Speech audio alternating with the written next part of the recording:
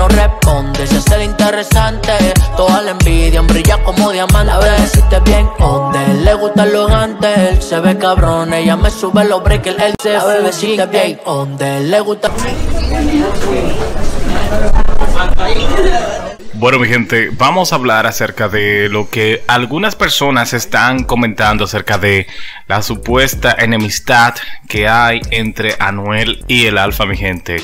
Todo el mundo, los comentarios, cuando se habla de Anuel, cuando se habla del Alfa, siempre salen con eso. O sea, el que no ha visto este tipo de situación es porque es ciego o quizás no está muy pendiente a lo que se habla en las redes sociales.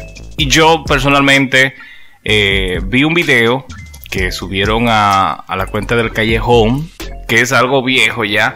Es una situación que yo le comenté a ustedes cuando le quemaron el Bugatti al Alfa. Ustedes recuerdan, eso fue como en agosto. En agosto, en julio, no recuerdo muy bien.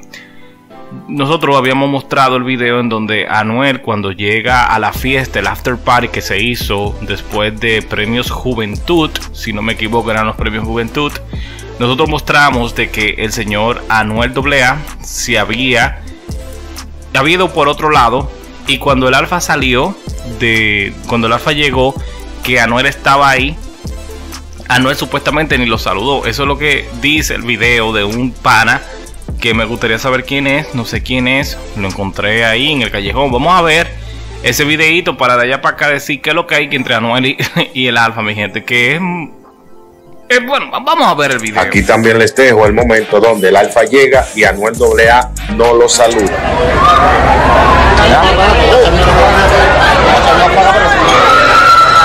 Vamos bajando.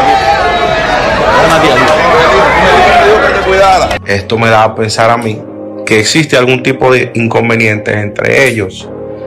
Porque están todos y se han saludado todos los que los artistas urbanos que están en ese momento ahí.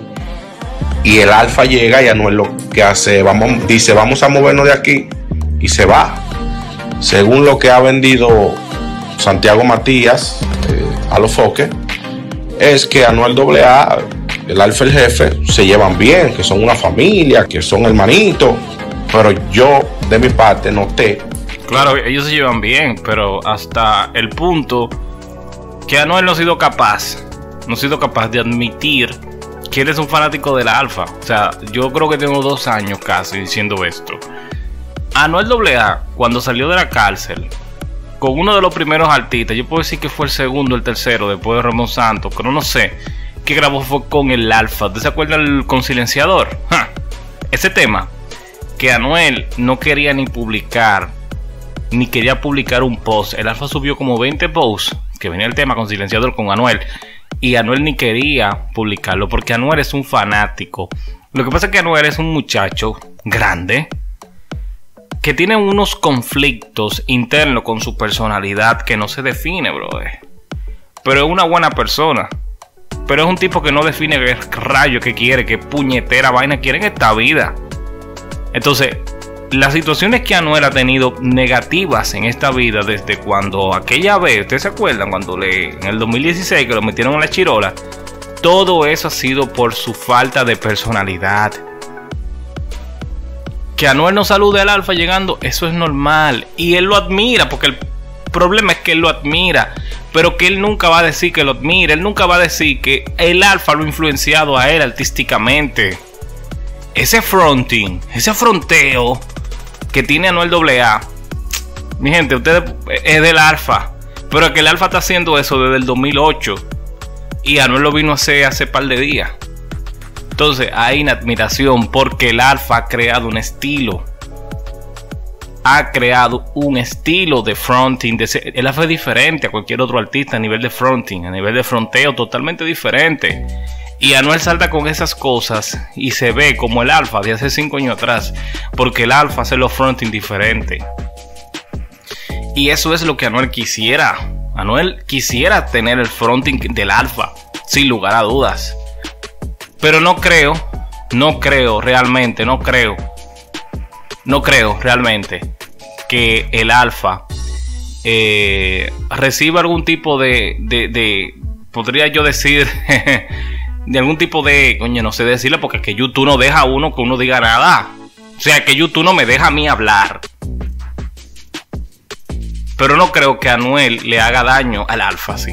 O sea, físicamente, hablando. O a algo de él. Pero si tiene la oportunidad de, de sacarle los CD, lo hace. Lo hace. Y no es que él no quiera, no es que él odie al alfa.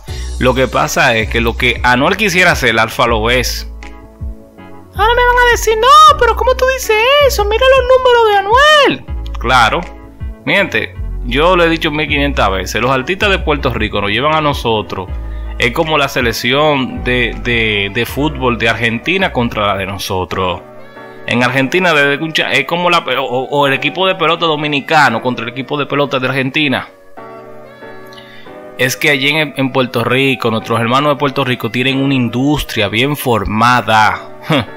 Una industria bien formada, con todo completito no es como la de nosotros. La de nosotros es. La, la, música urbana dominicana todavía, todavía está en, como si fuera, como si fuera en la prehistoria. Todavía, todavía está así. Todavía está así. La música dominicana todavía a nivel urbano está como en la prehistoria. ¿Por qué? Porque nosotros, los dominicanos, todavía hacemos esto con mucha pasión. Y uno tiene que hacer música con pasión, pero también con verlo como negocio. Hasta que dejemos de estar viéndolo como negocio, ¿verdad? Nosotros no vamos a cambiar esto. Esto que tenemos no lo vamos a cambiar. Y quiere que le den varios puntos. Mira, en Puerto Rico todavía se sigue manejando la música, o sea, el, nuevo talento lo sigue manejando como se manejaban los, talentos, nuevos talentos antes. O sea, te estoy hablando de los años 80, 90. Sí. Ah, usted canta bien, usted le mete bien. Sí, sí, yo soy fulano tal, soy del barrio, que estoy lo otro, que le meto durísimo, que paca taca taca taca pa. Y le dicen, ok, mira, cambio de imagen. De una vez cambio de imagen. Eh, que te crean un flow, un estilo. Mira, tu estilo va a ser este, este y este. Tú vas a vender esto y tu nombre, tú vas a tener ahora un eslogan, la nueva religión, como mira, mira Camilo, la tribu. Miren a Camilo, y Camilo no es puertorriqueño, pero es de Colombia, que en Colombia, cuando se ponen en una vaina, lo, hacen en serio.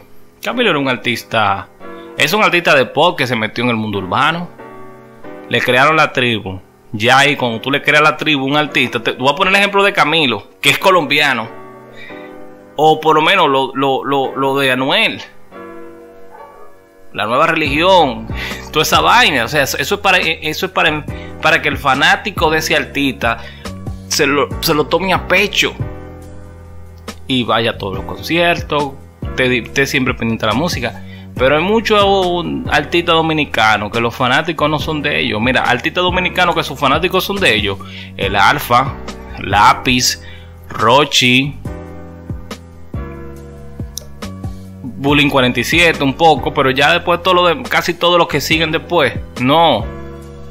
Son fanáticos de todo el mundo. En Puerto Rico, el que es fanático de Anuel es, real hasta la muerte, pero hasta la, hasta la muerte de verdad.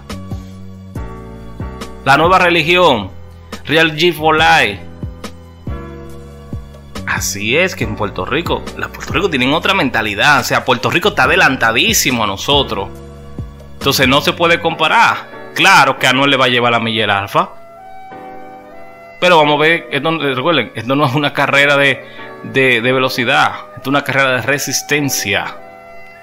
Resistencia.